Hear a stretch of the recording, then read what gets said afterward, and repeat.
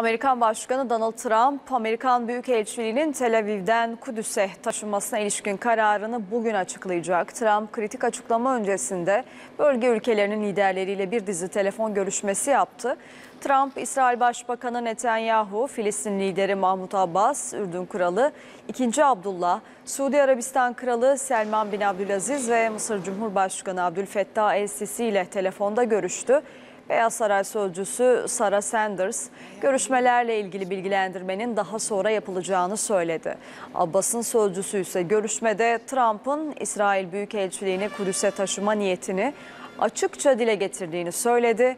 Filistin lideri Mahmut Abbas bunun çok tehlikeli sonuçları olacağı konusunda Trump'ı uyardı. Amerikalı yetkililer Trump'ın Kudüs'ü İsrail'in başkenti olarak tanıyabileceğini de söylüyor. Amerikan Büyükelçiliğinin Tel Aviv'den Kudüs'e taşınmasına ilişkin yasa eski başkan Bill Clinton tarafından 1995'te imzalanmıştı ama yasanın uygulanması o zamandan bu yana ulusal güvenlik gerekçesiyle başkanlar tarafından engelleniyor.